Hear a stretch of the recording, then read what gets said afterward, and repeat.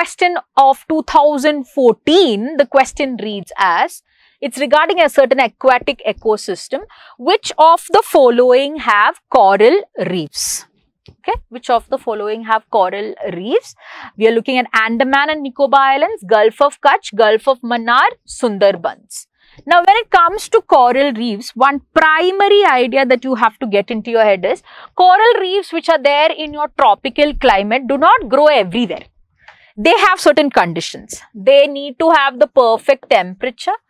They need to have water which is free of sediments. They need to have salinity. They cannot need or they cannot grow properly in fresh water they need good amount of yeah these primarily these less very less pollution etc if you look at all of these options over here one option clearly does not fit the bill. If you look at Sundarbans, Sundarbans is filled with fresh water, constantly sedimented with different kinds of river flow. So, a coral reef cannot grow in your Sundarbans. Where else can it grow? It can grow in Andaman, Gulf of Kutch, Gulf of Mannar. In all of these areas, they all occur on the coastline part. Their temperature is right, their sedimentation is right. So here the answer to this question is 1, 2 and 3. So the answer to this 2014 question is A. Now we come to a 2013 question. The 2013 question primarily deals with the 2013 primarily deals with in the grasslands, trees do not replace the grasses as a part of the ecological succession because of. So, here is the question. They are saying that you have grasslands. Okay. So, in the grasslands, what do you have mostly? You have your grass. Okay. They're saying that, see, eventually at some point, trees should start growing over there, right? but trees are not growing. The tree is not growing in these areas and they are saying that in the grassland trees do not replace the grasses as part of the ecological succession. Why? What is ecological succession? It is the very sequential progression of one community after another community, after the next community, etc. What is community? It's a combination of different, different plants and animals. More than two kinds of plants or animals existing together is your community. Okay. So what is happening over here is they're saying that grass is there, but after that tree is not growing. It's staying at grass only. And what is the reason?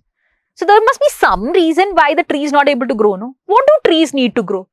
Trees need sunlight. Trees need proper water. Trees need good amount of nutrients. And yeah, that's it. Pretty much that. So don't you think something is happening on that front so that the tree is not able to grow? And now you look at the option. Insects and fungi. See, if insects and fungi are there, it will affect the grass and the tree in the equal manner. It's not going to just affect the tree alone. So, insects and fungi is wrong. Next is limited sunlight and paucity of nutrients limited sunlight. Now look at it. Sunlight is going to be, if at all any kind of tree, any kind of thing is going to be limited by sunlight, it is the grass that might grow under the big tree. But here they're saying the tree is only not growing. So what is, is it something to do with the sunlight? Because sunlight is not stopped by any sense. So the limited sunlight is not the problem. I said nutrient problem can be there. But here the option is limited sunlight and paucity of nutrients. So, paucity of nutrients can be there, but since limited sunlight is not a probable answer, that option goes. Water limits and fire.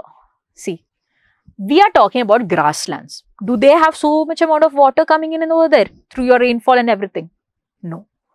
Trees need good amount of water to grow. Uh, if not, they will be stunted or they don't grow. So, you have enough water for your grass the grass keeps growing and that is why you do not have enough water for a tree growth. That could be a reason. So, water limits fits. And what is this fire? And this is where you have to understand a very common phenomena in a lot of grasslands is the fact that when the grass keeps growing at a certain point when it gets, uh, you know, the, it starts dying off and it gets dried up, the friction between grass, the different grass blades causes fire, if it's in a very heated environment also, it can cause fire. Once it causes fire, what happens is that entire area gets destroyed. Once the entire area gets destroyed, it does not go into the next stage which is the tree but then again from that destroyed area whatever spores of grass is there the grass keeps growing once again it grows maybe there is another fire that happens again and again. It cannot move. It's like stuck in that loop of things. It's not moving to the next stage because there is water limits and fire. So the answer to this 2013 question is c. The ecological succession is not happening because of water limits and fire now we are at a 2013 question. The question reads as which one of the following is the correct sequence of ecosystems in the order of decreasing productivity? I want you guys to remember one major thing in your head which is productivity of an area is directly related to the plant growth in that area. Okay. If you compare a land area and a water area, and again, I'm not talking about any areas in the middle, which is a mangrove or a swamp. If I broadly compare a land area and a water or a marine area, which is there, which is a salty condition, you have to understand there, there's a clear difference in plant growth. Okay. So, why, why am I saying plant growth in the first place? What is productivity? Productivity is the total biomass that can be produced in an ecosystem who is producing the largest number of biomass? It's the plants. They are the ones that are taking the sunlight, producing the food. So, dependent on the number of plants is what the productivity of that ecosystem will be determined. Here, they are speaking about four ecosystems, oceans, lakes, grasslands, mangroves. Now, in your very, uh, what you say, uh, small thinking, uh, you know, just broad thinking of it, which one do you think will have the highest productivity? Let's start from there.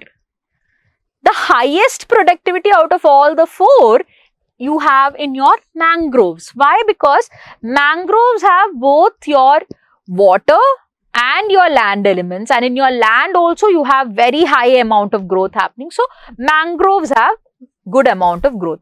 Which one would have the least? Obviously, it's a water body that should have the least. Why? Because as I told you, the water body will have very less of plant growth. Why? Why again? Because the water body has very less of dissolved oxygen and dissolved carbon dioxide in it. They don't, they are not able to respire in a normal manner. They need dissolved oxygen and carbon dioxide. Now, the dissolved oxygen and carbon dioxide amounts are much, much less when it comes to water bodies. Got it? So what happens? A water body should be the end. Now the question is, will it be a lake and an ocean or an ocean? This is where you have to understand when it comes to lake and oceans, lakes have a little bit amount of growth which comes from the different sedimented areas, some nutrients, etc. There is a little bit more amount of plant growth. Oceans are in comparison to it much, much less. So, we are looking for an option where mangroves come first because it's decreasing. So, the highest will be mangroves and the lowest will be oceans. And the only option that comes over there in that sense is option C. Can you observe that over there? The saying mangroves, there's grasslands, there's lakes and ocean. So, mangroves highest. Then you have a land body which is grassland then a water body and then the final open ocean which is a larger water body. Understand? So, the answer to this 2013 question is C.